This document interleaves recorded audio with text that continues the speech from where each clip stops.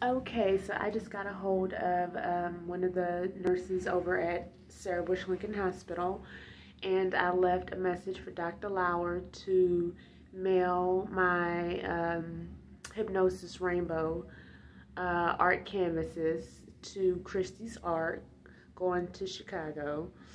Um, and uh, anyway, so they don't do return to sender. I gave them the New York address as the sender.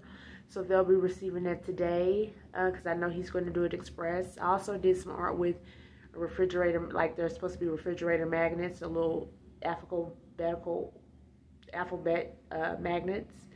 I did something about a sun. I just squirted it on there and did something with the sun. But uh, the canvases, um, those will be sent, and hopefully along with the refrigerator art and the and the sun that's on the poster board.